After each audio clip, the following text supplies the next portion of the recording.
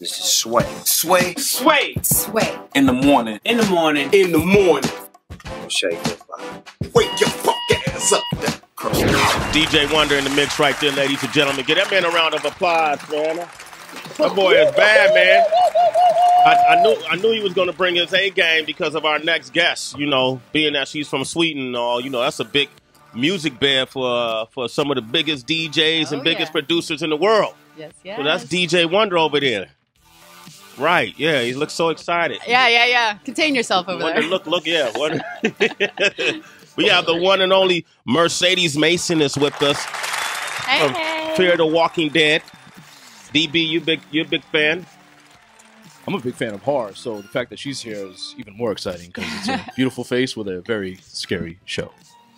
Beautiful So face. You had to bring that up, man. I, I told you, you know, control yourself when she came in the room. You're married, right? You're a married woman, right? I mean, I'm in New York. You're. Isn't there like a zip code rule? Yeah, buddy. All right, we're going to come back. If you're a Fear the Walking Dead fan, call us 888-742-3345. We have the one and only Mercedes Mason with us. Yes. Ah, Spoiler alert, we did go to Walgreens after them. Y'all went to Walking Dead, you really? She's here, ladies and gentlemen. The one and only Mercedes Mason has joined us from Fear the Walking Dead. and very nice too. Ophelia, Ophelia Salazar. Mm-hmm. It's a uh, role you play, and you know we were sitting. I wanted to have you on the show because um, this whole Walking Dead phenomenon is just really fascinating to me. This zombie apocalypse, you know, and, Mm-hmm. and and and we were talking about this subject earlier on the show. One of our biggest fears, you know, coming to life. And I remember being a kid thinking, what if the world was like this, post-apocalypse? like type of environment how would i survive would i be able to survive Right. you know and Yeah. so i sit at home a lot and i watch shows like the last alaskans Yeah. and, and life below zero Yeah, you know yeah. you watch those I do, I do. Yeah, what- Even like Naked and Afraid. I always want to know what I Afraid. Yeah, if I could survive. yeah would you If do I had to. if you had to right I think so. I mean, isn't that human nature? Yeah You just sort of get driven to this point where you somehow figure out a way to survive. Yeah. This is the same reason we can't like drown ourselves in a bathtub. Do you know what I mean? Like human mm. nature instinct is to force you to survive, even if it's subconscious. yeah So I think unless you're completely weak of will, which I don't think any of us in this room are. So Mercedes, I'm the only one now that Sway brought that up to realize I came clean when they when Sway asked, "What's your biggest fear?" Mine is to have to do number two at work or in any public Silly. place. That's that's uh, it, but it's so it, real. Heather. It's so real, Mercedes. What's your biggest? She's still. don't do not tell a prankster that. All you know, that's Yeah. the worst thing to tell a prankster because you know the the worst thing you could do to somebody then is just put a few drops of Visine like in your water because that'll make you go. Yeah, but if you put too much, you might fuck them up permanently. Really? Is that true? Yeah. Oh, really He always Sorry, has Mom. Visine. Well back I Oh. do because i Have you ever had to go number two? Blame him. yeah, yes, me. You know, but I, because I because I don't wear my glasses, so my eyes are always straining. That's why I, w- I Ah, put the yeah. Visine in it Right. because I don't want to wear my glasses. But I never heard that. Me Oh, either. Is that something they practice in Sweden when you were growing up? Like, like spiking people's water with Visine? Oh my god, I think I learned it from like Dumb and Dumber. I'm not kidding. Oh, really? Oh, right? So I was gonna ask, what was your Life biggest, lessons from Yeah. really horrible films that make me laugh. They make you laugh. What was your what's your biggest fear since Sway brought that up? I, I have a, a, so many fears. I mean, where do I begin? Spiders is the most irrational. I mean, they're so tiny, and yet I would climb out a window just to avoid a spider. Tell her about the story this morning. Well, the story was there was this 21 year old construction worker. Oh, I thought you were going to say, there's a spider in here. Yeah, I would have been no, out. Yeah, you would have been out of there. The Yeah. interview over. I And, jumped uh, through the window. You really? Okay, so um, and this guy was on a construction site, and he decided he wanted to go use the bathroom.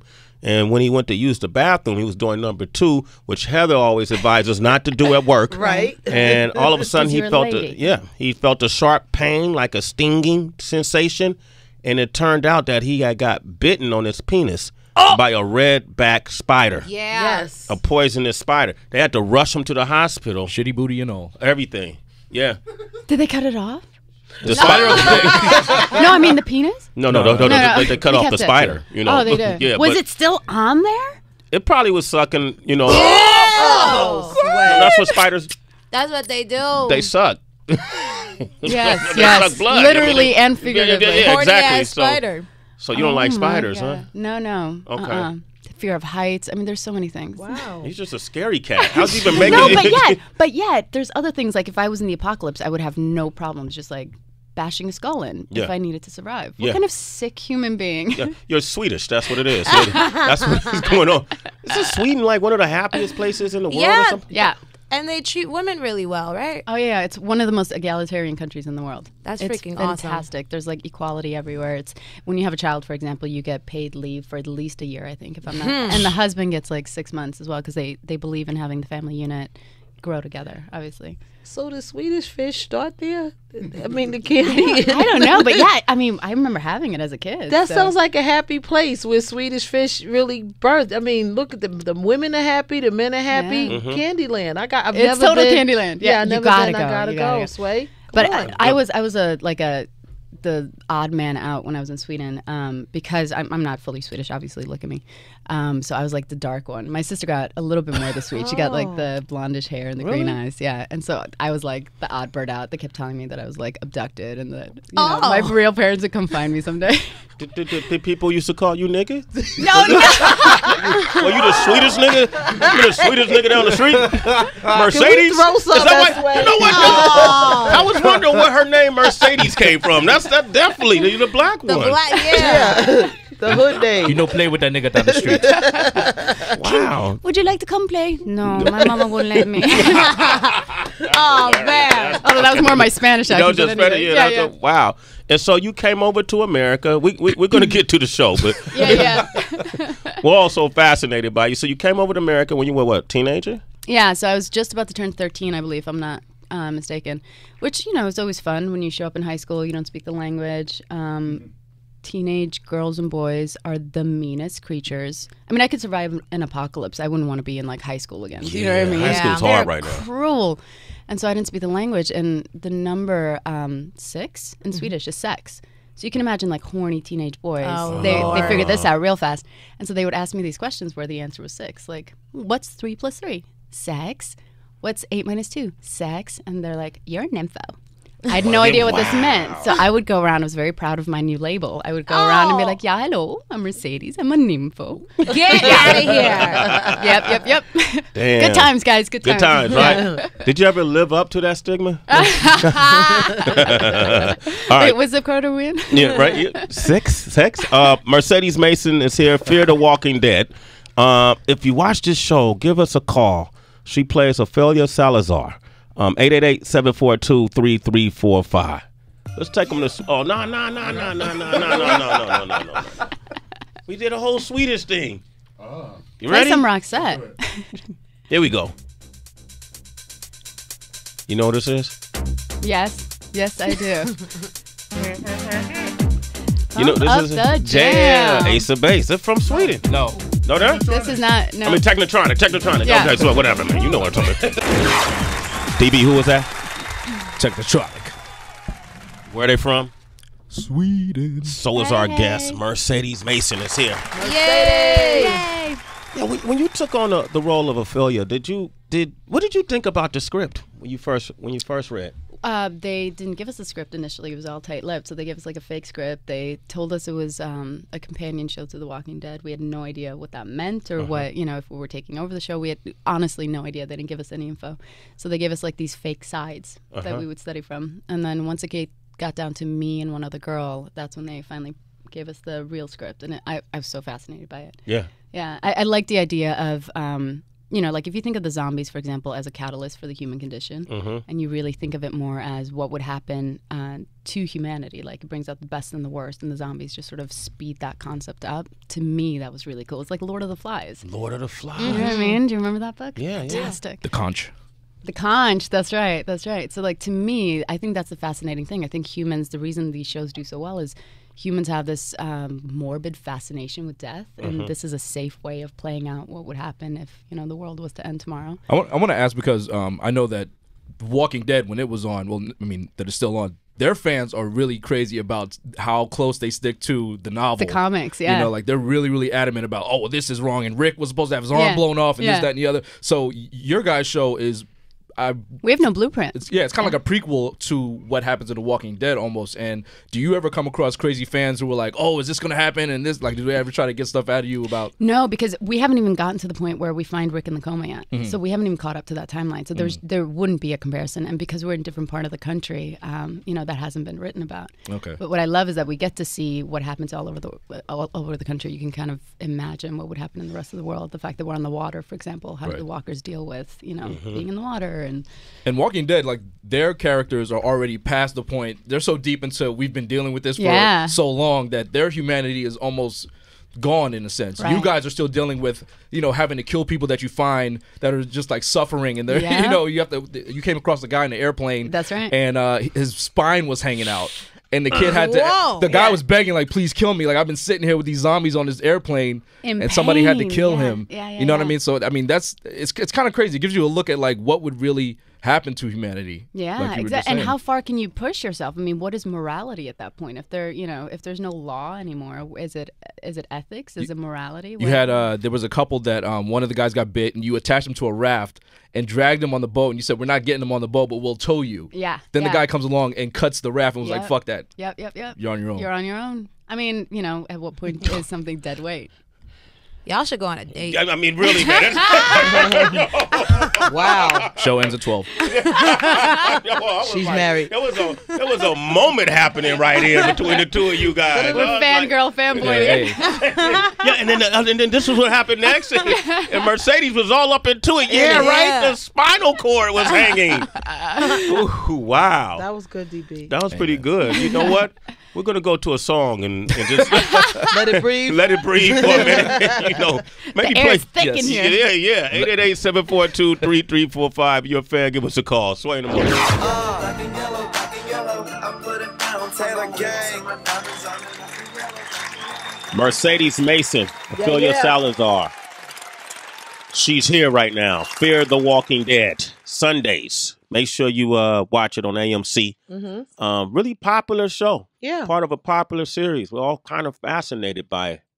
Don't understand quite what it is about death and gore that we all seem to like, right? Especially DB. DB just fanned out on you right there. Did you feel uncomfortable? Like, uh, Loved it. What do you mean? I You was loved it? full on with him. We were we were playing tennis just now, back Exactly. and forth. yeah, man. Ain't nothing wrong with being a fan. No, no, no, not at all, man. I just never seen you get so excited. Well, if he was a dude, I'd have been like, so, uh, you know. You would have played it cooler. Yeah. yeah, All yeah, right, yeah, all right. yeah. All right, we got we got Josh on the line from Georgia. If you want to speak with uh, Mercedes Mason, 888-742-3345. Josh, what up, man? What up, Josh? Hey, Josh. Sway, how y'all doing? Doing okay, man. You fear uh you're you're a fan of Fear the Walking Dead? Man, I love this show. I'm a truck driver, so I leave home on Sunday. I don't get a chance to watch it then, so I watch it on my tablet every week.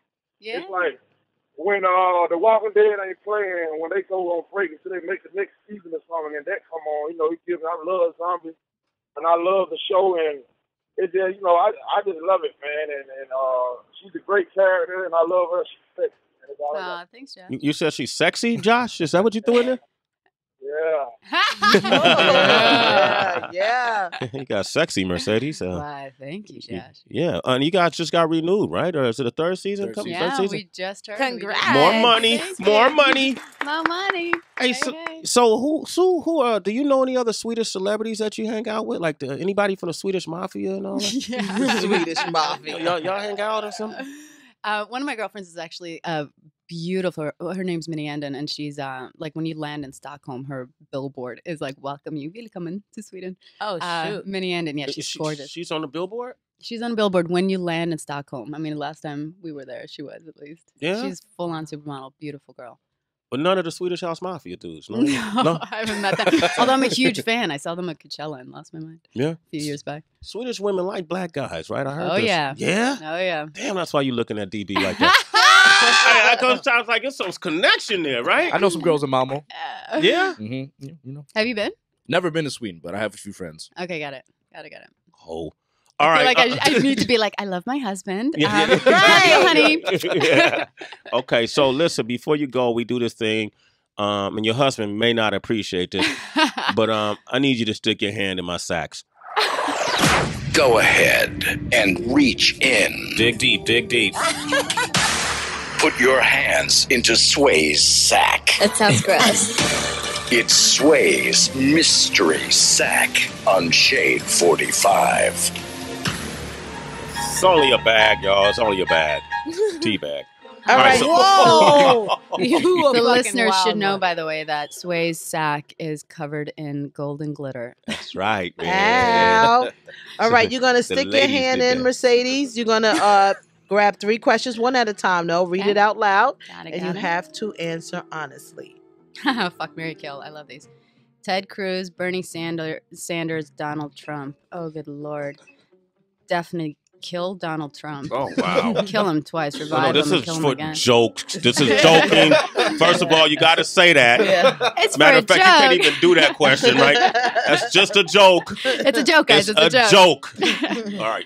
Um. Oh my God. I guess I would marry Bernie Sanders and then. I don't, I don't want to have sex with Ted Cruz. I don't want to do it. Can I just be really frigid? Thank you so much, Teddy. Um, no thanks. I have a headache. I have a headache. That's great. All right. if you were starving, and your only options were eat a human or eat your pet dog, which I would eat a human so fast. Before your pet? Oh my god, that's my baby. I What? would- if somebody looks at him the wrong way, I lose my sh- my junk. Yeah. You could have said shit. You could have. I could have. Yeah. I would have Uh, lost my shit. Yeah, nobody's. you this would kill baby a boy. human before you. What kind of pet? do you- 100%. What kind of pet you have? He's a little chihuahua named Wedgie. Oh man, that's an appetizer. Wedgie. What? Wedgie. Wedgie. I love I, that I, name. I saved him from the brink of death and I love him. Um, if someone you loved was bitten by a zombie, would you put them out of their misery before they turned or after? Oh, wow. Um, no, I mean, I guess I would let them get just to the precipice of turning and then Mhm. do it. I mean, can you imagine, like, if they're still looking at you and you had, like, coffee with them yesterday? Mama, I'm sorry. I know you birthed me, but I gotta It's two cut to the your head. head off. Wow. Yo, Mercedes, you got a real kind of like Dark, the dark darkness. side to it, right? Uh-huh. Like there's something going on with She Mercedes. wants to prank me. Like you can tell where her mind is I- going. it's going. Oh, you have no idea. Oh. I'm relishing at the thought. Guys, we got to plan this now. Next plan it, time right? on, uh, I'm on. Well, It's- tell her what you do when you go in the bathroom. What do you do? What's your fetish? Why would you do this? Okay, uh, so you got a bathroom fetish? Ugh. I peek under the the stalls to see who's in there with flat feet taking a dump. So I so I know not to shake their hand at work. So she, look, she, she looks at their shoes, and if she sees your shoes in the hallway, she won't give you a That's handshake. That's amazing. Yeah. I, yeah. What well, if they're going? What if they're peeing? No, I can always tell with the P because you like you do Oh, like yeah, you this. do that. Yeah, you do the squat. You, you, you, you squat and your feet are up. So Oh flat my feet gosh. is number two. I've studied. it. I tell DJ Wonder it all the time. I let him know who's taking major shit. at Okay, all right. You know, Mercedes, Mercedes, thanks for coming by, Mercedes. We love you, okay? Love you, you, you have to come back. guys. Fear the Walking, yeah. Fear the Walking Dead, Sundays, 9 p.m. Eastern, AMC. All right, we got first say with Kelly Kincaid up next. Sway in the morning. That's the best trick ever. It's Sway in the morning, only on Shade 45.